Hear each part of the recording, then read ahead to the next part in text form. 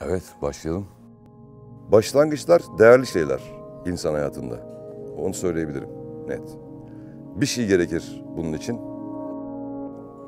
Cesaret. Saf cesaret yani.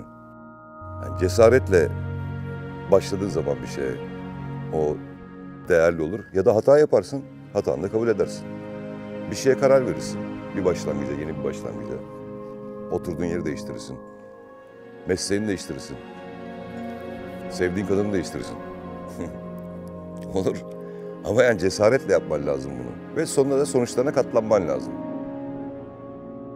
Garip bir hastalık geçirdim ben. Ölümden döndüm. Ve şöyle düşündüm şöyle yatakta yatarken. Ne yaptın oğlum şimdiye kadar dedim yani. Hani ölseydin şimdi hani ne oldu mesela ne diyeceklerdi senin için? Sonra bir durdum böyle. Çok ısrar oldu başka lokasyonlara gitmemle ilgili.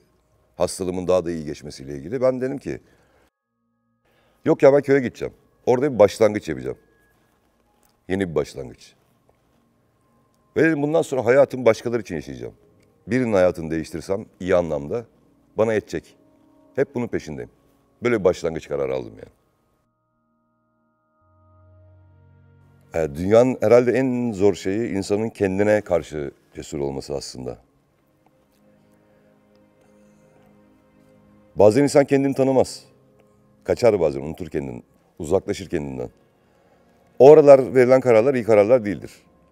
Kendine yaklaştıktan sonra, cesaretle yaklaştıktan sonra hatanı, sevabını, her şeyini tartıp ondan sonra güzel bir karar verebilirsin ve bu güzel bir başlangıç olur işte.